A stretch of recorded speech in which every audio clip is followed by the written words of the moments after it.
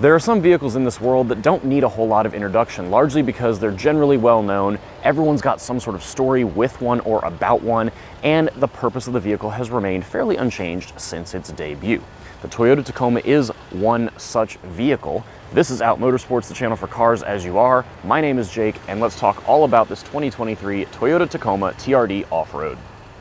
Despite the Tacoma not needing a whole lot of introduction, let's still talk about what this 2023 Tacoma TRD Off-Road is, both as a general truck and the TRD Off-Road trim. This is not a brand new truck, far from it, of course. The Tacoma in its third generation, which is what you're staring at right now, came out for the 2016 model year and it was facelifted in 2020. By comparison, Toyota just updated their Tundra, which is the half-ton truck that sits above this in size and capability, and that was a pretty heavy redesign. I'm hoping that the Tacoma is going to undergo a similar redesign very soon, like I said, either 2024 or 2025. It's all unconfirmed, but this guy is feeling a little bit long in the tooth in some ways. Despite me saying that this could use some updates for my preferences, the Tacoma is a hot seller for Toyota, along with its platform mate, the 4Runner.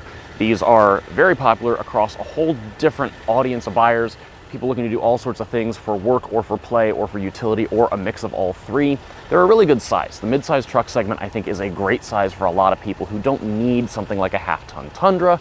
This is of course the crew cab with a five foot bed, so you can have five people in here in relative comfort. You've got the five foot bed. Toyota also offers a six foot bed if you would like it. Now, most Tacomas for 2023 are going to be powered by the brand's corporate 3.5 liter V6. It makes 275 horsepower and 268 pound-feet of torque, which is honestly pretty decent for the segment, and it is paired to either a six-speed manual transmission or, in this case, a six-speed torque converter automatic. Now, the most basic of Tacomas can be had as rear-wheel drive, two-wheel drive trucks. Most of them are going to have some sort of four-wheel drive system with high and low range. Of course, this one does because it is a TRD off-road. Now, Toyota has three different packages of TRD that you can get on these trucks, as well as some other more street-focused trims like the SR5 and the Limited. Let's run through what the TRD off-road is because honestly, I thought I was getting a TRD Pro to talk about, and this is a TRD off-road, and they're different. So let's talk about that. Like I said, that TRD Pro is going to be your most capable off-road based Tacoma from the factory from Toyota, but they do offer two other TRD trims, Toyota Racing Development trims, if you would like to go a little further off-road than a regular street truck might go, but don't need all the stuff that TRD Pro gets you. So this one is the TRD Off-Road package, which is more off-road focused than the TRD Sport, which is not really meant for off-roading at all from what I gather so we'll ignore that one. But in any case, TRD Off-Road gets you a few key things that will make this truck fairly capable. The first being the set of Goodyear all-terrain tires on a unique wheel. So nice to have an all-terrain versus a highway all-season tire. More importantly, you've got a set of Bilstein shock absorbers that are off-road tuned, which is to say they're going to be a little more set up for the impacts and the needs of off-roading with rougher roads. It's also going to make the truck a little bit softer in general for how it rides. The other nice thing that you do get with the TRD off-road is an electronically controlled locking rear differential. So whether you're in two-wheel drive or four-wheel drive, you can lock that rear diff for more traction. That's helpful both off-road and on-road if you're in some slippery situations, i.e. snow or ice. Because if you're in four-wheel drive with the rear diff unlocked or an open diff, you really have two-wheel drive because your power is going to go to the wheel on each axle with the least amount of resistance. So having that locking diff especially if you're in snow or ice, is actually very helpful on the street. And of course, off-road if you've got some articulation and that rear axle is moving.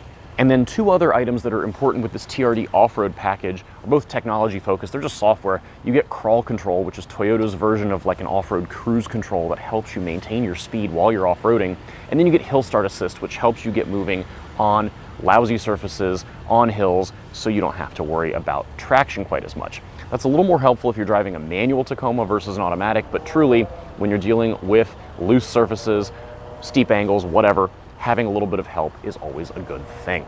And then two final things worth talking about with any truck, that is towing and payload. So first of all, with towing, Toyota rates the Tacoma differently based on the length of the cab, the length of the bed, the wheelbase, the engine, several different factors. But in this case, the TRD Off-Road, as you see it here, is rated with the V6 for 6,400 pounds of towing, and that comes with a 10% tongue weight, which is 640 pounds. I'm very proud of myself for doing that simple math in my head. But Beyond that, your payload is going to be even more important because whether you're towing, whether you've got stuff in the bed, whether you've got people in here, payload is the weight of your cargo and occupants, and that does include the tongue weight on the back of the truck if you've got a trailer hooked up. Payload for this particular truck that I am staring at is rated at 990 pounds. That is fine, but it's not a ton. So you have to think about if you've got a 6,400 pound trailer on the back, for example, with that maximum tongue weight of 640 pounds, you can have you and maybe a friend in here, you can have you and maybe some stuff in here, but you don't have a lot of payload to play with. That also goes for just having four or five people in the truck, plus a bunch of stuff in the bed. Again, if you want to be within the truck's official payload specs, you don't have a ton of room to wiggle. So those are the numbers that matter. And of course, for the sake of towing, you have a standard two inch hitch receiver. You've got seven and four pin trailer wiring, and there is wiring up to the dashboard for a trailer brake controller, although there is not one offered or included. Now with all that, let's get behind the wheel of this 2023 Toyota Tacoma TRD off-road and talk about how it is to both drive and tow with. All right, so let's talk about driving the 2023 Toyota Tacoma TRD off-road. We have to first talk about the elephant in the room, and that is my seating position. It is simply not good. I am six foot one, and this truck is one of those Toyotas. I felt this way about older 4Runners, especially, uh, where they just didn't design them for tall people. And if you're over six foot, I think if you're over maybe 5'10 or 5'11, you're gonna have some issues. My legs are very kind of splayed out right now. It feels like the steering wheel is kind of in my lap, despite being as high up as it can be and I've also just got my legs like very straight out in front of me. It's a very odd seating position, and it also leads to my head feeling like it's kind of in the ceiling. So I feel like I need to sit over here to get that clearance where the sunroof goes. So very odd seating position. I would not say it's super comfortable. Uh, I would not love to do a long drive in this truck given how I have to sit in it. As far as other things about how the truck is for, for power and ride quality and braking and steering and all that, uh, power and torque are fine. I This is an engine that you just have to rev a little bit. It starts to pick up power a lot above 3,000 RPM, and it doesn't sound horrible being wound out. So power and torque are there. You just have to work it, which is the same with a lot of trucks. So I'm, I'm gonna let the engine slide. The transmission in this is a six speed automatic, not a more modern eight speed it does an okay job. It can get a little gear hunty on the highway depending on, you know, if you're on a very flat road or a little bit of a grade, but you can lock it out of, you know, its top couple gears if you really want to. And it all works together fine enough. The suspension I actually like in that it's fairly soft. It's combined with these, you know, off-road tires, these all-terrain tires, and it all makes for a pretty comfortable ride actually, both in the city and on the highway. The suspension is super soft for the sake of off-roading. That is a bit of a challenge, you know, for towing. We'll get into that in just a second. But as far as general comfort on the highway, the ride quality is actually pretty decent in here. The steering I have more of an issue with in that it's really heavy at parking lot speeds and in the city, but when you get on the highway, it lightens up, which is kind of the opposite of what you would want. And it just feels a little floaty and, and perhaps imprecise. So that is really not to my complete taste. And then with braking, that is also not really to my taste in that the pedal does not have a ton of initial bite, so you have to get into it a little bit to, to feel like the pads are really clamping down and starting to slow the truck. And then when you do, the suspension is so soft that you kind of rock forward and it's just really hard to be smooth under braking. I'm really still working on that despite having, you know, had the truck for a few days and driven it daily. So that is something you get used to, but I just I'm not sure why it's all calibrated like that between the steering and the braking. It might be more focused on off-roading, but you know a lot of people have these trucks and never take them off-road, so they need to be good on-road as well. And this one is only kind of mid in that regard as a whole package. Now, back to the interior for a second because I talked about my seating position, but we got to talk about more. The rest of the interior is ultimately fine. It's fairly functional. Um, I wouldn't say it's cohesive. This feels like a truck where Toyota added features and added options year over year because they needed to do something to keep up with the competition. And the overall design in here is just, it feels a little thrown together in certain places. The climate control kind of angles down and away from you, but then the infotainment angles toward you. Buttons are kind of placed where they can put them. One of the buttons down here for the rear window is just not backlit, even though everything else is. It's all just a little messy feeling in certain regards. And you know, I'm not one of those people that needs to have giant screens everywhere. I'm really honestly okay with the size of the infotainment screen. I'm okay with having analog gauges and a small screen in between them. I really simply do not care. Uh, this is all fine, it's all functional. But everything could be just a little more thought through as far as one team working together to produce a more cohesive interior design. And I'm sure with the new truck they will. This was just kind of the standard at the time that Toyota was working with. And it's not bad. I just don't think it lands with other midsize trucks that are being revamped. You know, all of the midsizers kind of feel like this as far as outgoing models. The Ranger, the Colorado, the Canyon, the Tacoma, the Frontier, all of the older models feel a little like this in that they're just what they are. With the Frontier recently being updated, the Ranger is coming, we know the Tacoma is coming, the Colorado and Canyon just launched.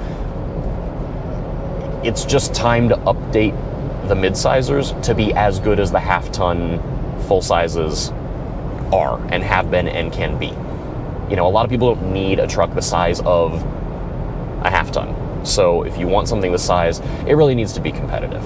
A lot of them weren't competitive even against each other. They were all kind of like this, but 2022, 2023, 2024 is going to be a several year period of all of these midsize trucks getting big updates. So this feels like a swan song, like a tribute to what trucks used to be.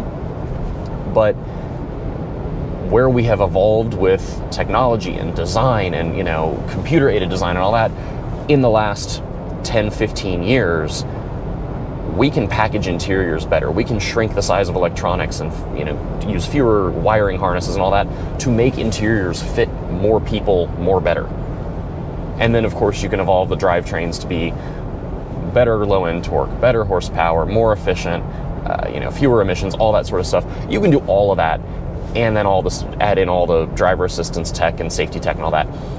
This is just a product of a, a bygone era. That's really all it is. And so, with that, I mentioned we would tow with it, so let's get into towing.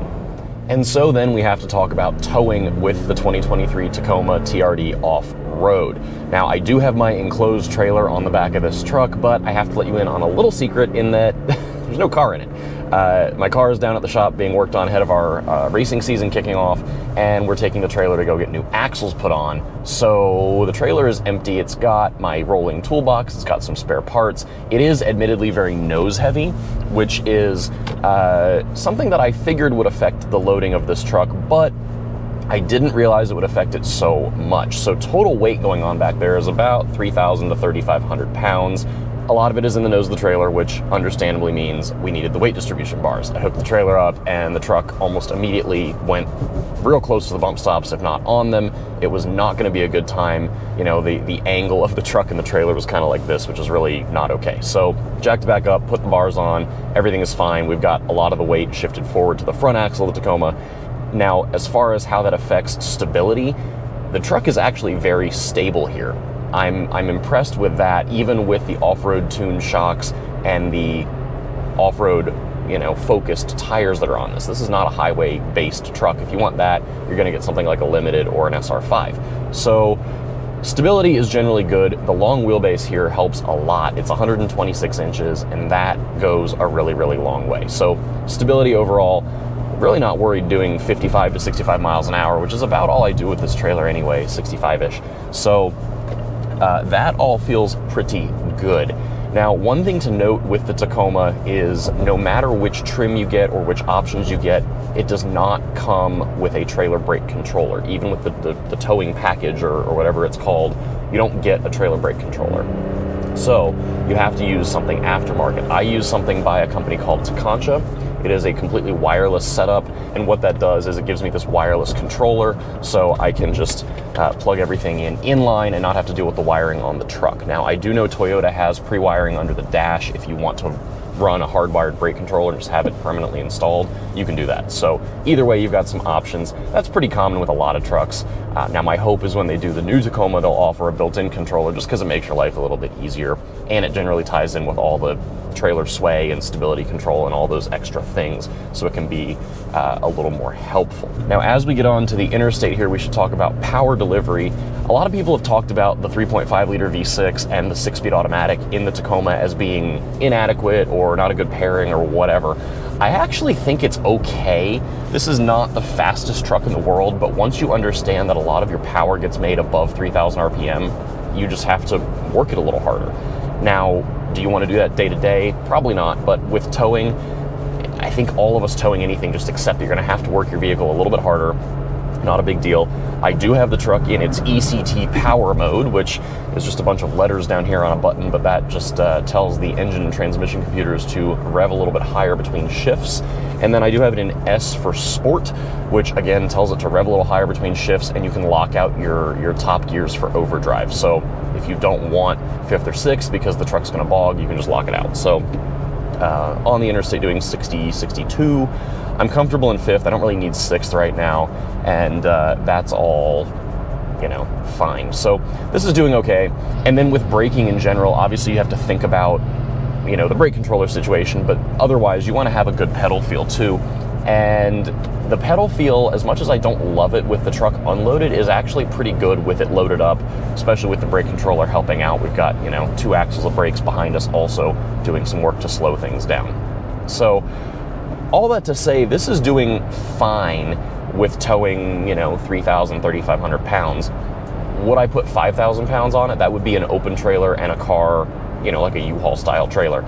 Yeah, I think I would with a U-Haul trailer in particular, those are really, really, really tongue heavy. They force you to load your, your car really far forward on the trailer.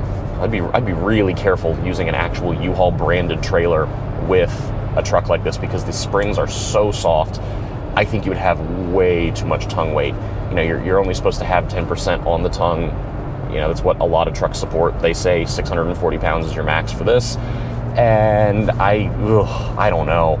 I'd have a really hard time doing a U-Haul trailer. If you have your own open trailer where you can adjust the car and, and keep your tongue weight a little more careful and also use weight distribution with it, then yes, I think it would be fine. Would I tow my trailer loaded up? I mean, if I put something like a Miata in it, we'd still be below the, the total weight cap for this truck. Would I do that? Ugh, I don't know. I think it would do it. I think it would be really slow, and I think it would be, it would feel a little overworked you know, this is stable, this is all fine, but I, I am aware that even at, you know, half the tow capacity, that's kind of where it feels happy. I think you could push it to 5,000. I would not tow a whole lot more than that, at least not with a TRD off-road. The TRD Sport, the Limited, the SR5 that are all a little more street focused, I think might do a touch better, but uh, ugh, I don't know. I'm, I'm just not entirely feeling it. All right, that is it for this review of the 2023 Toyota Tacoma TRD Off-Road. Thank you as always for coming along. Please be sure to like, share, comment, and subscribe right here on YouTube. Give us a follow on Facebook, Twitter, and Instagram at Out Motorsports. And if you'd like to join a community of fellow LGBT automotive enthusiasts, please head over to outmotorsports.com. We've got a bunch of great events happening both online and in person, on the racetrack and on the street, and we would love to have you join us for any and all of that. Till next time, please stay safe, be well, see you again soon.